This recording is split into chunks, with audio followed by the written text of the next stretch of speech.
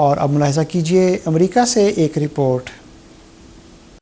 اٹھارہ ستمبر دو ہزار گیارہ اتوار کے دن پچاس احمدیوں نے بیالیسویں سالانہ افریقن امریکن پریڈ میں حصہ لیا۔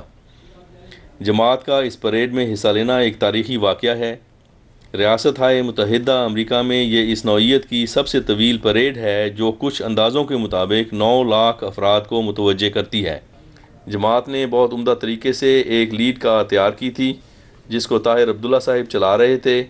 اس کار میں نائب امیر مولانا داؤد حنیف صاحب، حاجی جلال الدین عبداللطیف صاحب اور حاجی ذوالوقا یعقوب صاحب بیٹھے تھے۔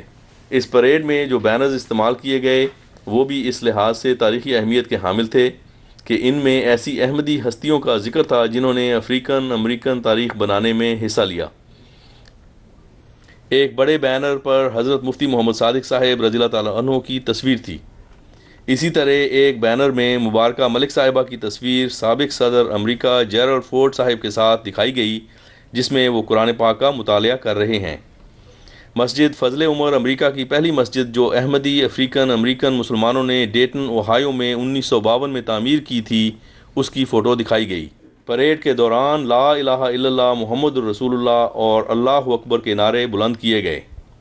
اللہ تعالیٰ کے خاص فضل سے جماعت کو 125 اسٹریٹ پر اپنا بک سٹال لگانے کا بھی موقع ملا۔ اس پریڈ میں شرکت ایک نہایت ہی جذباتی اور حوصلے کو بڑھانے والا تجربہ ثابت ہوا۔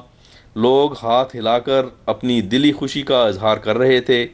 پریڈ کے دوران ایک پولیس آفیسر جذبات سے مغلوب ہو کر اپنی ڈیوٹی کی جگہ کو چھوڑ کر ایک مارچ کرنے والے احمدی ممبر سے بغلگیر ہوا اور السلام علیکم کہا۔ پریڈ کے اختتام پر نبی کریم صلی اللہ علیہ وسلم کی شان میں نعت پڑی گئی۔